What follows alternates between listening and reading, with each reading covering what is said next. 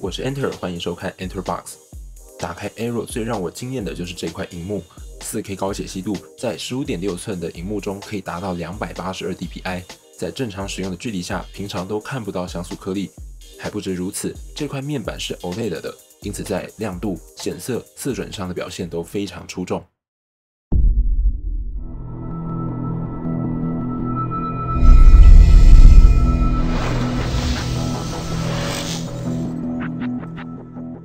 今天开箱的这一台 Aero，它有三大亮点。第一个，它搭载了 Intel 最新的时代处理器；第二个，它搭载的是2070 Super 的显示卡；第三个，它的 4K 荧幕是 AMOLED 的。那这一台的售价大概是八万出头，不过目前看到它有时候特价，其实在八万内你就可以买到了。那 Aero 系列对于专业工作使用者来讲，绝对是值得投资的设备。OLED 这个系列最便宜也有四万五的机种，影片最后会给大家分析 Aero 15 OLED 的选购建议。好，规格看过去，完整型号是 Aero 15 OLED 的 XB，搭载 i7 10875H。这款处理器是目前笔电 i7 等级最高的规格了，它是八核心十六执行序，基础时脉二点三 GHz，最高可以超频到五点一 GHz。那显示晶片为 NVIDIA RTX 2070 Super Max-Q，显示记忆体是 GDDR6 的八 GB。这么强的规格，那一定要有够好的散热才能发挥它的效能，所以我们看到散热。在 Aero 底部还没有拆开底盖，就可以看到大面积的散热空间。四周机身也有非常多的散热设计，整体的设计造型是比较阳刚的。那拆开底盖有五个散热导管，两个七十一扇叶的风扇。日常使用的情况下，噪音是可以接受的，顶多偶尔风扇飙速一下，声音才会比较明显，仿佛是提醒你一下它的存在。而在高效能状态，这风力真的是太猛了，完全是无法忽视的怪兽。如果你想吸引旁人的注意，直接方选加 ESC 就可以把风扇开到满档 Max。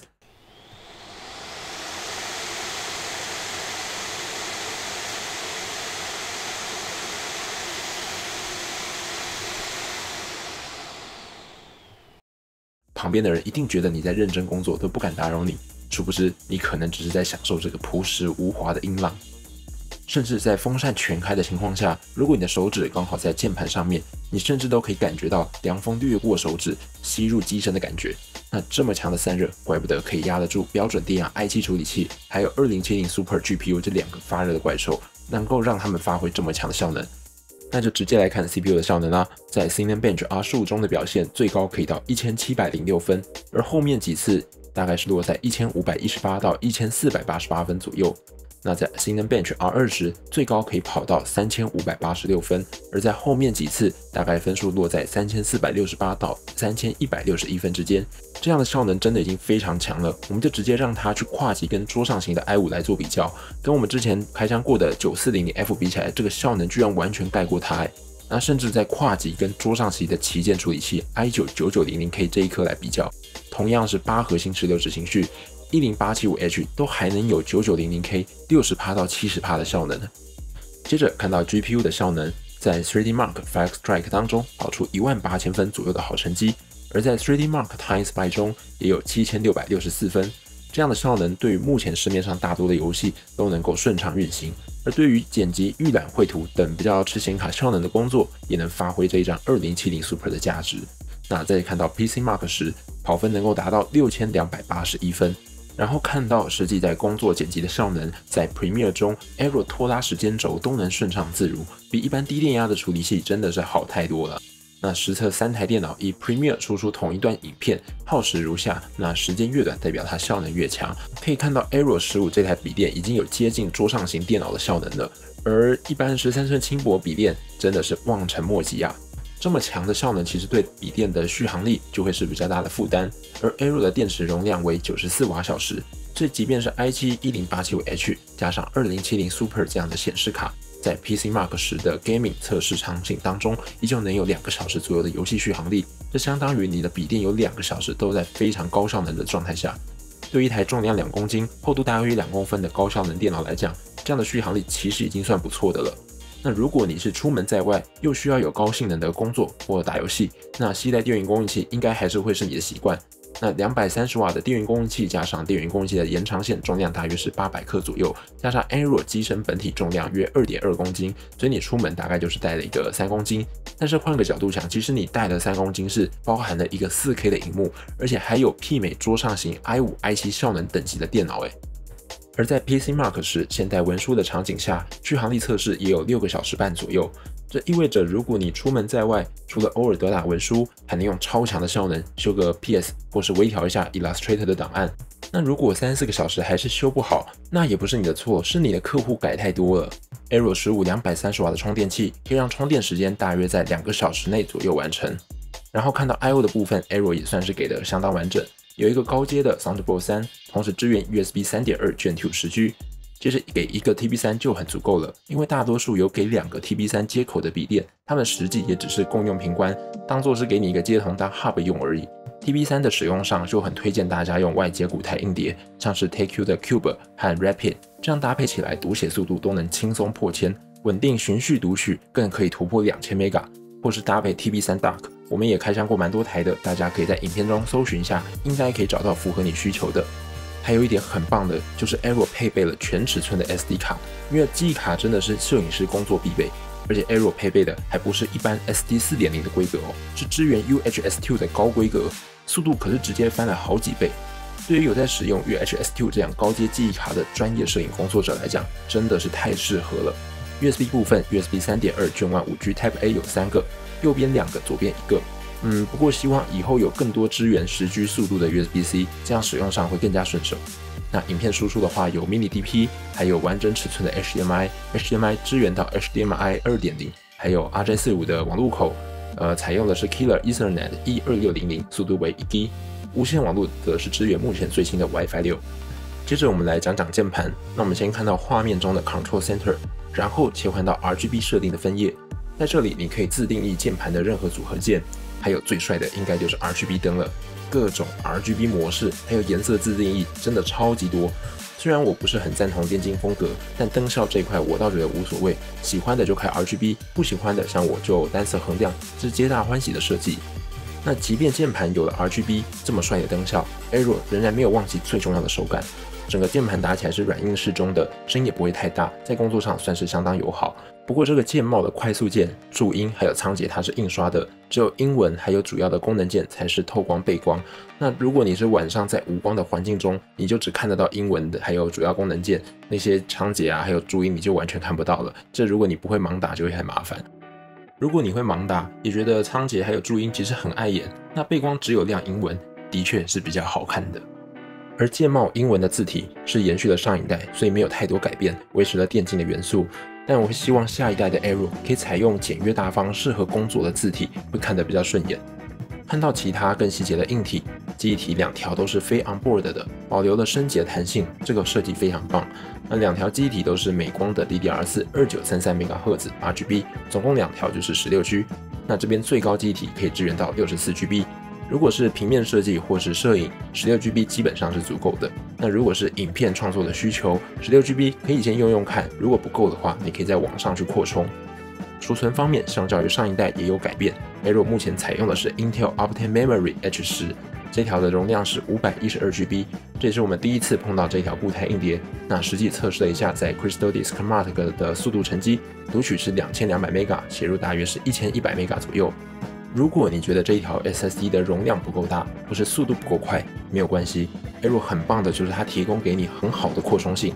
它有一条 M.2，同时支援 PCIe 和 SATA。那详细的安装过程，我们另外做了一部影片，就放在右上角给大家。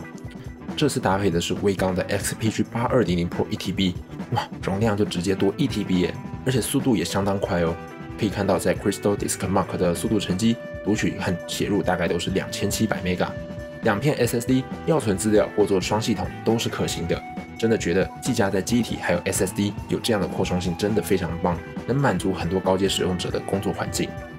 视讯镜头的设计算是好坏参半，那先说缺点好了，镜头放在下方，当别人跟你视讯的时候，他看到你的脸就会变得比较不自然。但是很棒的是，这个镜头有物理的盖子，是可以完全遮住镜头的，除了可以防止平常手残开会玩忘记挂电话发生让别人看到你的糗态。还能防止恶意软体的偷窥，这一点就给予高度的肯定。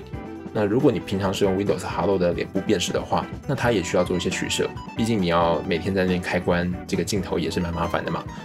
Arrow 这部分设想还是蛮周全的，因为它在触控板上面也提供给了你呃指纹辨识，这个指纹辨识的速度非常快，辨识度也非常高，非常稳，是我目前使用下来固定在使用的解锁方式。那在音效方面就蛮普通的，除了像是声音非常大，整体来讲音质是蛮生硬的，然后也没有什么厚度。那再来看到几个优点，像是它保护两年算是一般，但是它提供给你的作业系统是 Windows Pro 专业版，有一些更进阶的功能你就可以用到。好，接下来看到重头戏就是荧幕，荧幕规格真的非常豪华。除了前面讲到它是 4K OLED，然后有282 DPI 的规格，Gigabyte Aero 15 OLED 主打的是采用 Samsung 的 AMOLED 哦，它是市面上目前 OLED 面板的旗舰规格，型号我们也列在这边给大家。色彩方面则是各个族群都有顾到，像 VESA Display HDR 400的认证，还有一百 percent 的 DCI P3 色域，这两点就对于影音工作者来讲是非常棒的啊，可以表现更鲜艳的颜色，画面中的黑色也更加逼真，黑的跟背景一样了。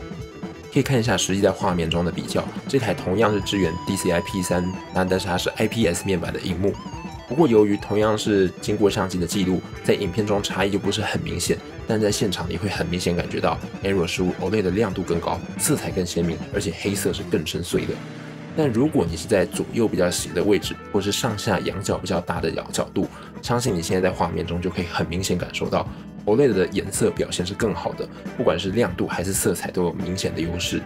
除了前面提到的 HDR 400，还有一百 percent 的 DCI-P3 色域。第三点就是 X-Rite Pantone 照色认证，这对于平面广告输出的工作者来讲非常有帮助。即便你不是设计师，但是工作上会用到印刷偏痛那也都能从 Aero OLED 看到比一般电脑还要更准的颜色。那要开启这个偏痛的校色，记得从刚刚看到的 Control Center 里面有一个管理中心，把偏痛校色打开就可以了。反之，如果你不是平面输出或是印印刷的创作者偏痛校色基本上就没有用了，建议是关闭，因为偏痛色彩看起来其实是没有那么鲜艳、那么好看的，而且别人的电脑也没有同样的偏痛色彩可以看出你做的数位内容。而在荧幕边框的厚度测量大约是六 mm，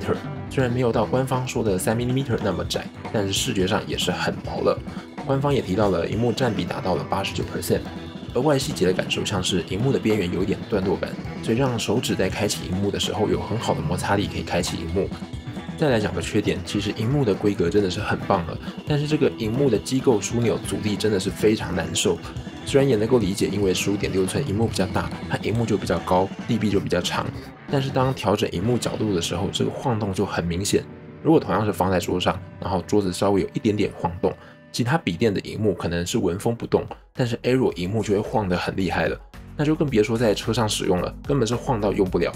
还有在盖上荧幕的时候，低角度的时候，这个枢纽就会像自动失效一样，阻尼就突然失力，导致最后盖上的时候速度会非常快，很容易夹到手指，盖上的声音也会非常大。着实这么担心，这么好的面板在每天剧烈的开合下，会不会提早挂掉？而且这一点也不是说消费者自己买回家以后还可以自己改，这部分是没办法自己克服的。所以希望技嘉在高阶笔电未来可以改善这一点。好，那接着看到外观设计，荧幕上盖 A 键有 Arrow 发光的 logo，非常好看。那下方则用了带有速度感的线条隔开了法丝纹的部分，整体是比较有速度感、边境的元素。不过由于几乎都是黑色，表面其实蛮容易看出有手油的油渍。好在表面也相对是好保养啦，擦拭过去就干净了。那我则是比较期待冰晶银的版本，希望之后也可以实际开箱来用用看。Aero 十五这几代延续下来，都有感觉到它慢慢在减少一些电竞的感受。不过或许是出于创作者，同时也可能是游戏玩家这样的考量，其实并没有完全拿掉电竞的元素。那在我的立场，我会希望它还是回归创作者的本质。例如像上面提到的键帽字体，希望可以用比较简洁大方、圆润正式的英文字体，或是在整体的外观上不要有这么多阳刚的呃动感的线条。在整体的呈现上，创作者的形象才会更加明确，而配合已有的荧幕还有效能优势，就能够更贴近使用者的工作氛围。还有一点很棒的是，Aero 目前的机种都是 Made in Taiwan 的哦，都是在桃园生产组装的。希望有机会也能够去参观技嘉的工厂，让大家看看眼前这台笔电的诞生过程。官网的规格页面也有特别强调到，每一台 Aero 出厂都有做 X-Rite 的偏红角色哦。现在 Aero 全系列还有送三个月的 Adobe Creative Cloud，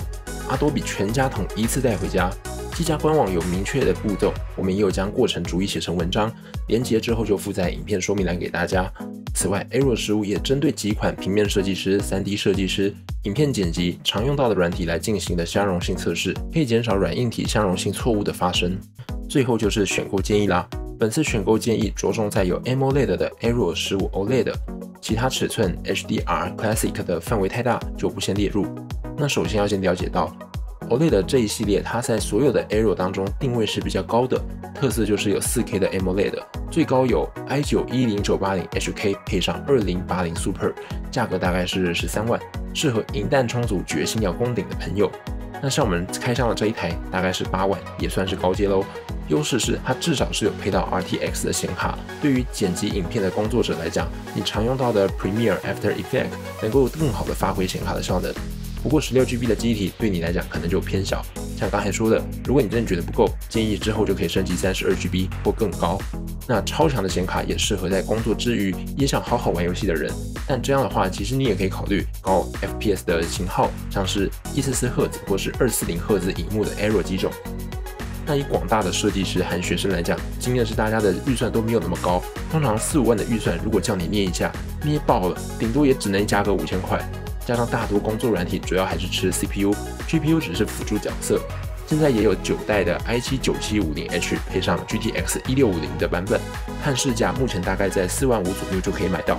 不过五万块的预算，其实你买到了 4K OLED 的面板，真的是非常有竞争力的机种。那剩下的五千块有两种升级方向，一个是记忆体就去升级三十 GB，另外一个就是 M.2 的 SSD，你加个一 TB 的，大概五万块这样花，非常值得。好，那今天对于 Aero 笔电的评测就到这里。影片内容制作不易，邀请您按赞、订阅、分享。Enter Box，我是 Enter，我们下期再会。